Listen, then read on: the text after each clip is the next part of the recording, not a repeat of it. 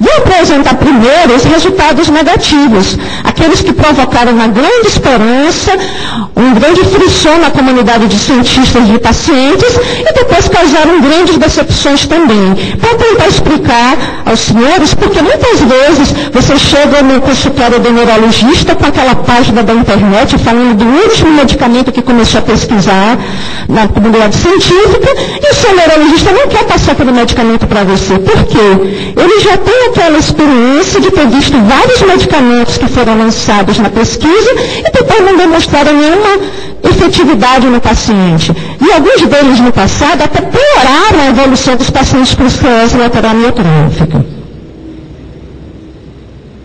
O primeiro deles, mais recente, é o caso do lítio, a medicação normalmente utilizada para transtornos psiquiátricos, como a doença bipolar, e que foi utilizado baseado no fato de que ele mostrou proteção de neurônios em camundongos ativando processos como a autofagia, aumentando as mitocôndrias que produzem energia, suprimindo a astrocitose reativa, formação de cicatrizes, preservando os neurônios motores, tanto favorecendo o surgimento de neurônios, como diferenciando esses neurônios, especializando esses neurônios.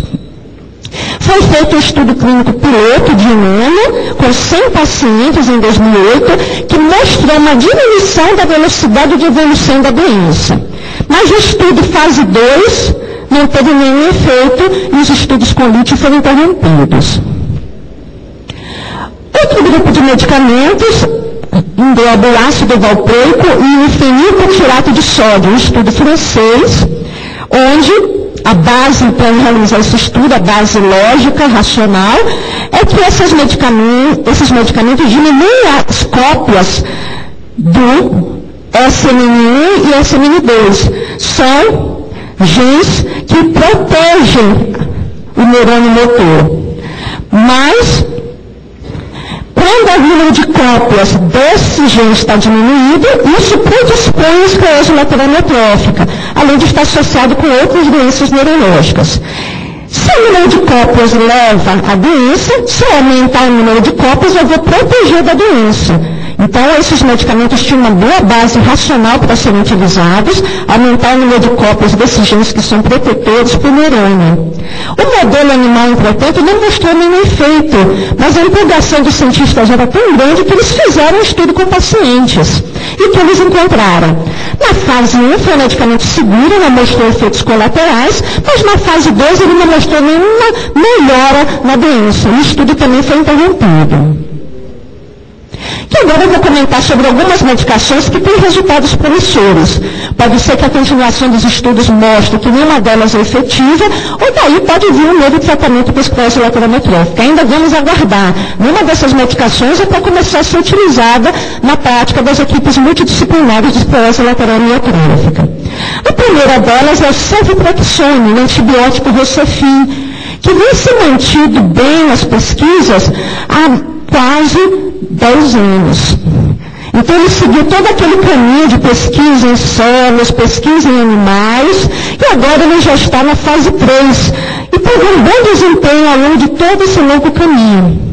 Ele protege os neurônios, neuroproteção, e aumenta a expressão dos transportadores do glutamato, que é o neurotransmissor tóxico. Quanto mais eu transporto essa substância tóxica, menos neurônios vão morrer. No modelo animal, aumentou o tempo de vida dos animais, melhorou a função motora desses animais. E agora já está em fase 3 de estudo com 600 pacientes. O grande inconveniente é que esse medicamento ele precisaria de uso endovenoso. O paciente precisa estar bem próximo do centro de pesquisa. O seguinte é o dexipramipexol vitro, em células, ele também mostrou neuroproteção, ele atua sobre mitocôndrias, ele diminui os radicais livres que matam as células, ele melhora, então, globalmente esse neurônio, e não tem efeitos colaterais sobre o sistema dopaminérgico. O modelo animal teve bom efeito e o estudo clínico passou pela fase 1, foi seguro, e agora está em fase 2. Então foram testados de 30 a 100 pacientes, a depender do centro, geralmente são vários centros que estão envolvidos, numa dose variável de 30 a 300 miligramas por dia por seis meses. E melhorou um pouquinho a escala funcional desses pacientes e houve melhora da eletromiografia. Mas uma melhora muito pequena que poderia ser devido ao acaso. Por isso eles falam que a melhora não é significante. Então o estudo vai continuar para tentar comprovar o grau desse efeito da medicação. Outra medicação em pesquisa agora nos Estados Unidos é o Memantine. Ele é uma antagonista de um receptor da membrana do neurônio, o receptor NMDA. E se eu bloqueio esse receptor, eu protejo os neurônios da lesão do glutamato, que é tóxico para os neurônios motores. No modelo animal, os ratinhos sobreviveram mais tempo usando essa medicação. E no ser humano estão sendo realizados estudos, já estudos de fase 2 procurando ver se o medicamento é eficaz. Ainda nos Estados Unidos, outra medicação sendo testada é o arimoclomol. Ele age em receptores chamados canabinoides tipo 2, são receptores da membrana do neurônio. E quando ele age, aumenta a expressão de um gene chamado HSP, Protein, que causa neuroproteção. Ele é antioxidante, combate radicais livres, é anti-inflamatório e anti-apoptótico, impede o suicídio celular. No modelo animal melhorou a função bioquímica, o aspecto anatomopatológico, o aspecto do neurônio, na fase biópsia do sistema nervoso dos animais. No estudo clínico passou bem pela fase 1, é seguro, e agora está na fase 2 foram testados 84 pacientes, tomaram 25 a 100 miligramas três vezes ao dia por seis meses. E o tratamento foi interrompido porque houve muita toxicidade, muito efeito colateral. É outro problema do medicamento novo. Ele pode ser efetivo, mas os efeitos colaterais são tão grandes que os pacientes não aguentam utilizar. Por isso, então, ele está sendo testado agora num grupo restrito, pessoas que têm esclerose lateral amiotrófica familiar por mutação da superóxido-dismutase.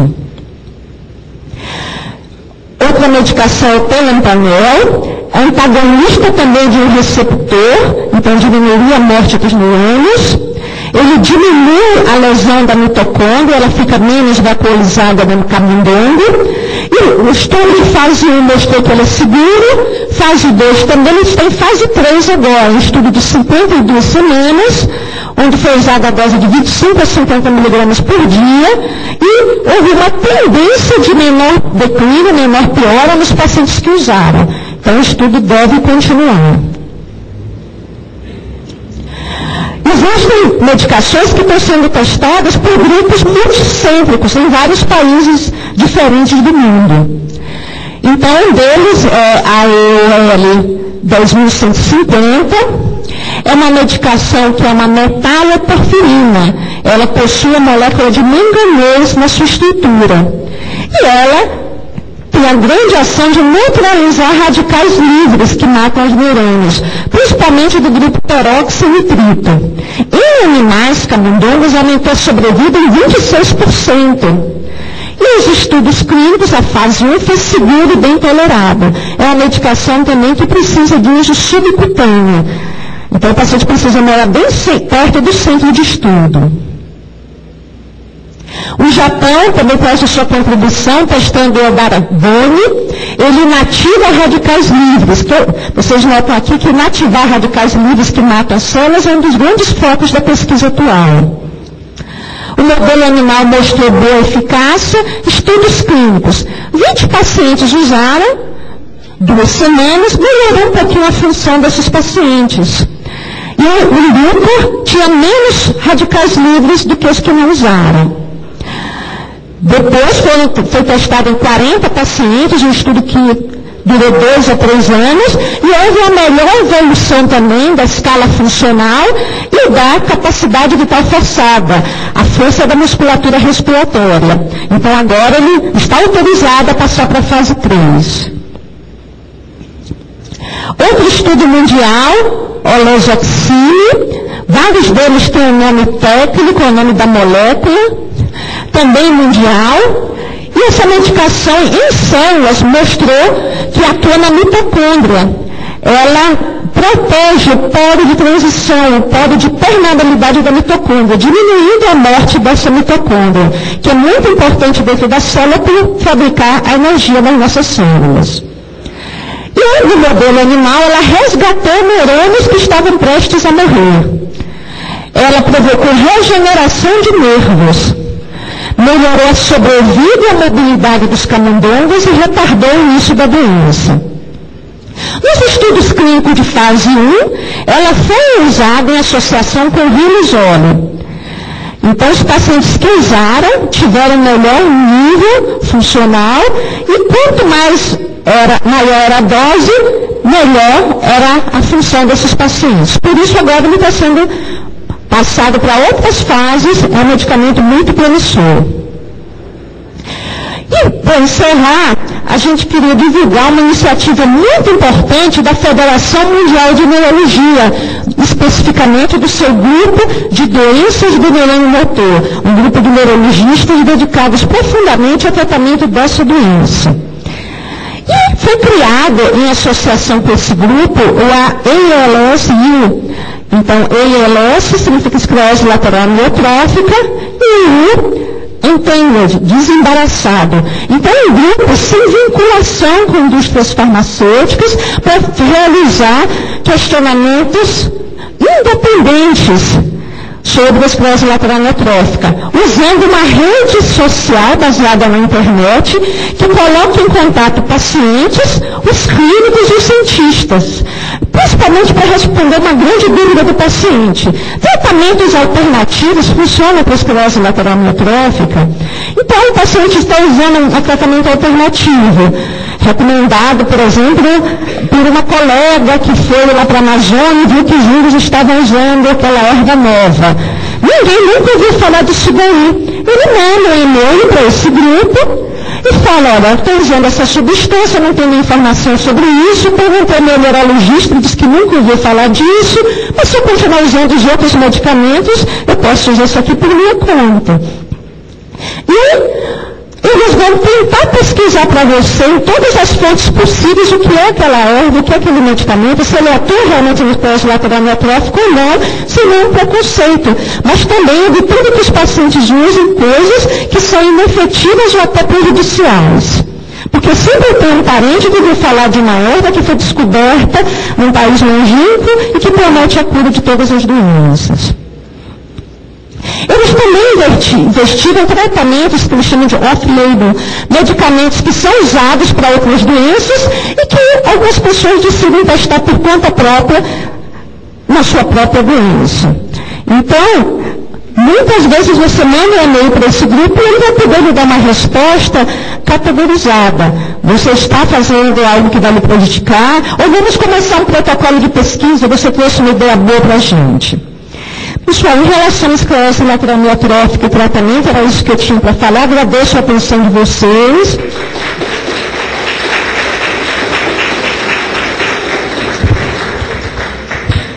E agora, como eu não vou poder ficar até o final da reunião, eu tenho espaço de dois minutos para tirar dúvidas.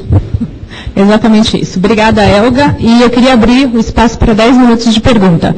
E como a doutora Cari falou, para se identificar, dizer o nome, de onde é,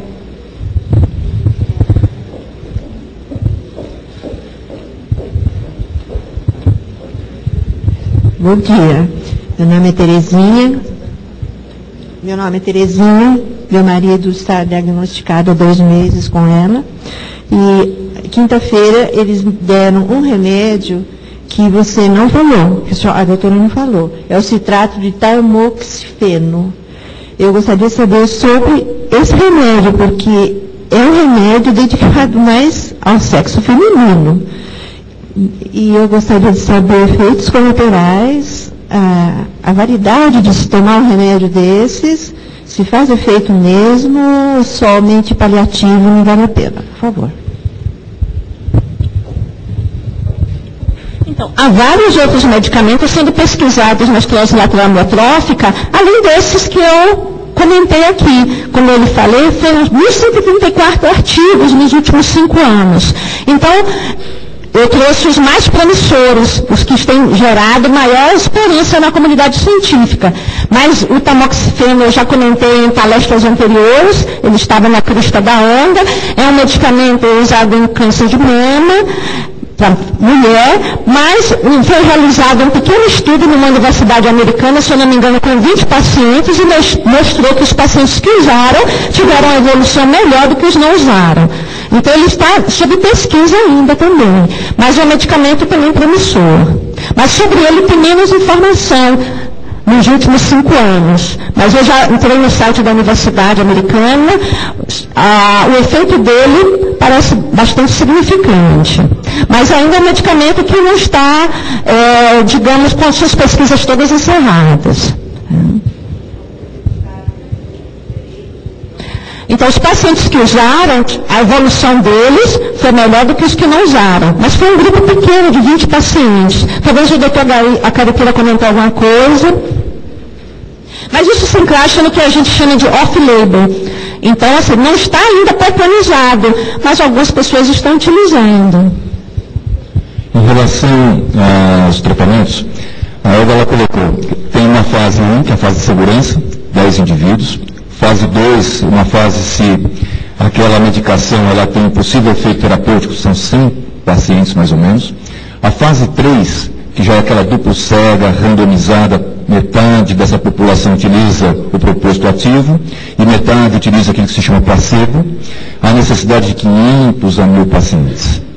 E a fase 4, que é uma fase para ver se tem efeitos adversos. Ou seja, para se fazer uma investigação em todas as fases, a necessidade de muitos pacientes. Qual é o grande problema em relação à esclerose lateral amiotrófica? A incidência, que é baixa. É um a dois pacientes por 100 mil pessoas por ano.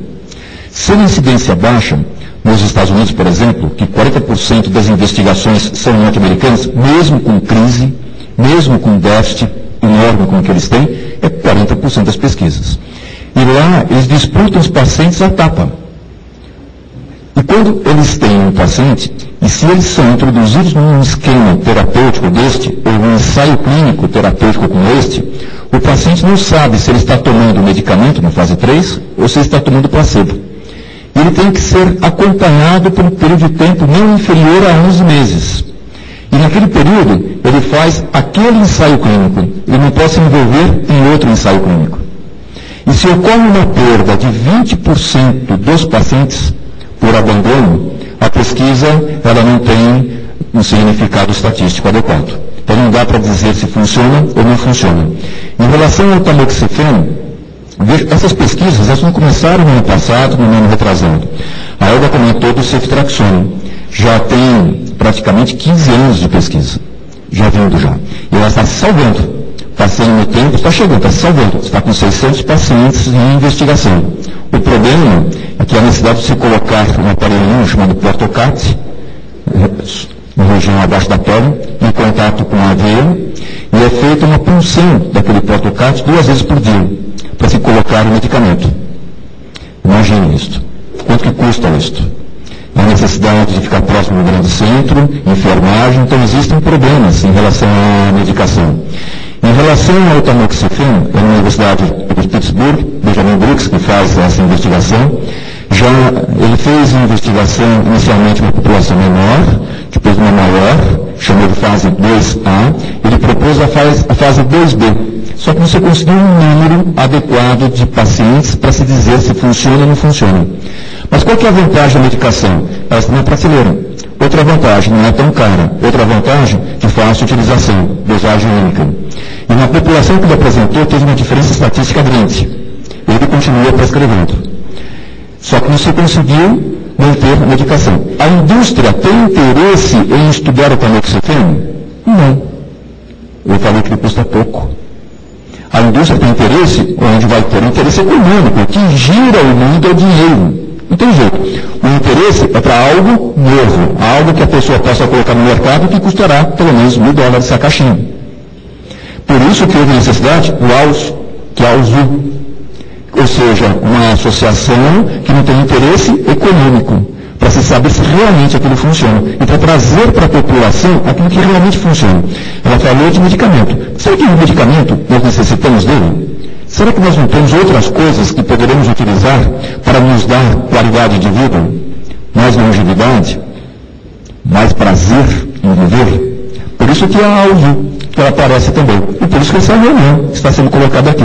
Onde as pessoas possam trazer os seus conhecimentos e as suas culturas também. A vantagem no que se é esta. Muito cuidado. Por exemplo, leucina, isoleucina e valina. A Olga não comentou, mas está lá entre as 1.100, não sei das quantas lá. Aminoácido não ramificado. É fantástico. Os atletas utilizam para melhorar a performance física. Só que para os pacientes com esclerose lateral a utilização desses aminoácidos ramificados, que os nutricionistas utilizam bastante, eles aceleram a doença. Eles abrem canais, eles abrem poros que estimulam a chegada de substâncias tóxicas para a célula e acelera a morte do neurônio. Aminoácido, coisinha que a gente come. Está ali, que aparece. Desorganiza a célula. Uma outra medicação, minociclina, muito cuidado está na prateleira também. É um antibiótico que é utilizado para quem tem acne. Ou seja, está presente. Em modelo animal, no camundongo, funcionou perfeitamente bem, maravilhosamente bem.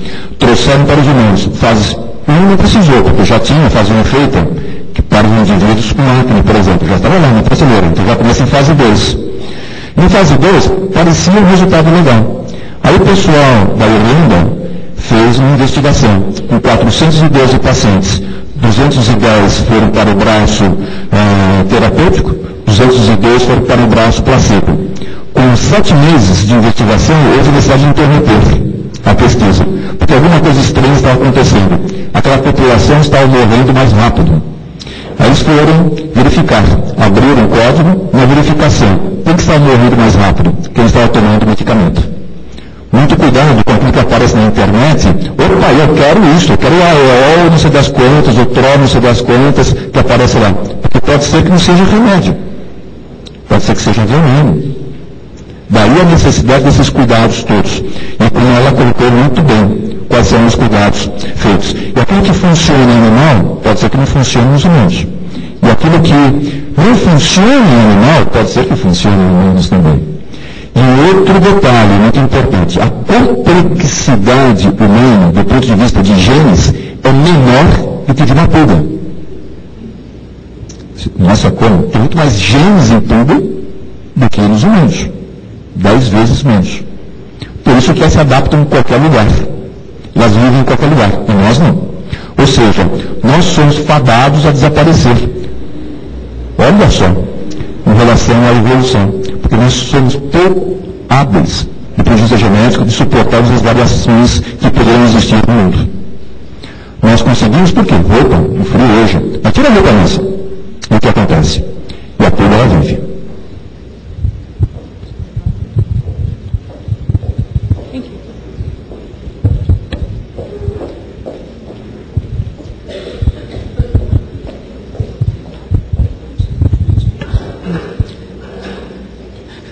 Sou Maísa, eu sou farmacêutica, fui diagnosticada com ela há dois meses. E a minha dúvida quanto a é, todo, tudo que foi exposto aí de tratamento medicamentoso é sobre os complexos antioxidantes que estão disponíveis nas farmácias. A, a combinação vitamina A, C e E, se eles auxiliam, atualmente eu faço uso apenas do Riluzol. Se esse, essa, esse complexo A, C e E se ele vai me ajudar em alguma coisa. Já que é pela lógica que você expôs e que a gente já sabe, é, a ação dos radicais livres faz com que a morte do neurônio seja acelerada. Então, é isso que eu queria perguntar. Obrigada.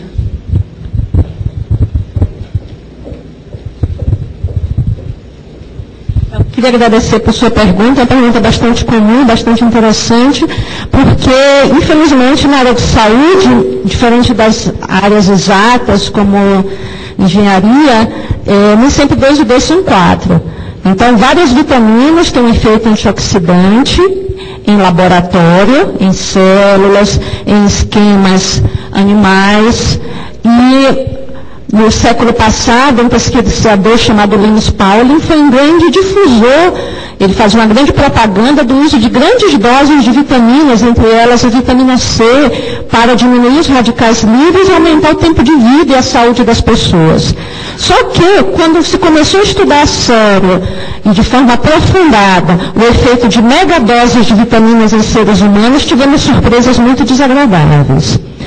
Então, especificamente em relação à vitamina A, por exemplo, o uso de altas doses de vitamina A, além de auxiliar a visão, leva aumento da pressão intracraniana, que pode causar cegueira e morte. Principalmente em crianças, desenvolvendo até quadros de hidrocefalia. Em relação à vitamina C, altas doses já foram associadas com o desenvolvimento de cálculos renais. Vitamina E, um estudo recente mostrou que o uso de altas doses aumenta a mortalidade, independente de qualquer fator individual das pessoas. Então, nem sempre lógico na área de saúde prova ser realidade. Está contraindicado o uso de megadoses de vitaminas de forma indiscriminada.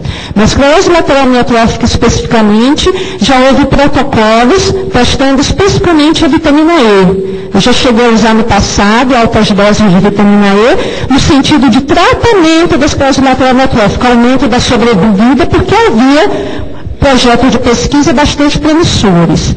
Mas a publicação desse artigo recente associando o uso de vitamina E em altas doses ao aumento da mortalidade, independente da doença que a pessoa tinha, na pessoas saudáveis, fez diminuir muito a esperança na vitamina E como tratamento. Então eu projetei aqui a vitamina E e a vitamina B como tratamento para câimbras. E é apenas assim que elas são usadas atualmente. Mas há outras medicações antioxidantes, como coenzima Q10, por exemplo, carnitina, que estão sendo estudadas na esclerose lateral amiotrófica. Eu não coloquei aqui porque, apesar de estudos em animais ou células promissores, os estudos em seres humanos não foram tão bons quanto a gente esperava.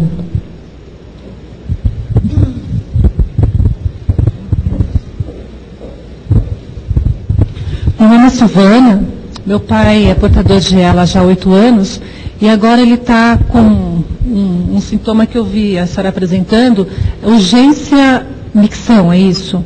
Gostaria de saber a causa dessa, desse, desse sintoma agora.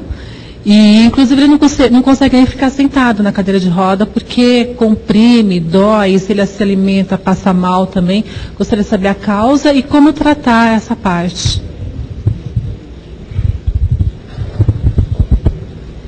Esse é um sintoma que não é muito comum. O paciente precisa ser examinado pelo neurologista dele, talvez por um urologista, porque existem inúmeras causas dessa urgência miccional. Mas na esclerose lateral pode ser infecção urinária, colonização da bexiga, ele pode estar com espasticidade e rigidez das, da musculatura da região perineal. E essa espasticidade da musculatura faz com que haja uma rápida reação dos esfíncteres nessa região. Então, quando vem a vontade de urinar, ele tem que urinar rápido, porque a região está hiperativa. Então, existem medicamentos específicos, mas tem que saber qual é a causa nele. Está com uma infecção, uma prostatite, é espasticidade, tem que ser avaliado pelo neurologista e pelo neurologista.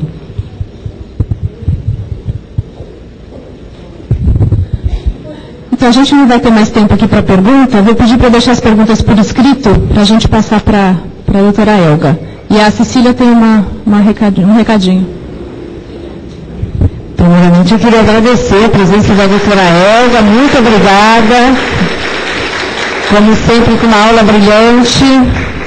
Né? Obrigada pela presença, doutora Elga, pelo conteúdo da, da palestra. Muito obrigada. Quem tiver ainda alguma pergunta a respeito dessa palestra, por favor, deixa por escrito conosco. A doutora Olga vai recebê-las, vai respondê-las e a gente encaminha por e-mail para vocês, tá? Por favor, senão a gente vai se estender demais. Eu tenho dois pequenos avisos. O primeiro é que nós recebemos uma doação de cobertores na Brama. Se alguém tiver interesse, por favor, também nos procure ali no fundo para a gente anotar o nome e telefone e depois vocês podem retirar lá na Brama. Outra coisa, nós conseguimos firmar um convênio com a SP Trans. A partir de, desde a semana passada, sai um ônibus circular da estação do metrô Vila Mariana. Ele passa na porta da neuromuscular, Ele vai deixar vocês ali na, na esquina com a José de Magalhães, bem pertinho, tá? E ele retorna depois, pode pegar o ônibus na José de Magalhães, ele deixa vocês na estação Vila Mariana. Ele é circular, ele não para em outros pontos, ele para somente ali e na Nova Escola São Francisco. Tá? Os horários estão fixados na neuromuscular, ele sai da, da estação Vila Mariana do metrô às 7h20 da manhã, às 8h30, às 9h50, às 11 horas, ao meio-dia e 35, às 1h45, às 3h10 da tarde e às 4h40 da tarde. Todos esses horários vão estar no nosso site e também lá fixados na neuromuscular. Quem tem praça especial não paga, quem não tem paga normalmente a tarifa. Posso convidar para o lanche ou você convida? Eu gostaria de convidar agora todo mundo para um pequeno intervalo. Tem um lanche servido lá atrás, refrigerante, água. A gente vai fazer uma pausa de uns 20 minutos, tá? Não mais do que isso, para não atrasar o, restante das palestras. Então eu convido vocês para pegar essa pausa e tomar um lanche gostoso com a gente. Obrigada. Quanto custa o lanche? Hoje, porque o dia está bonito e não está tanto frio, é de graça.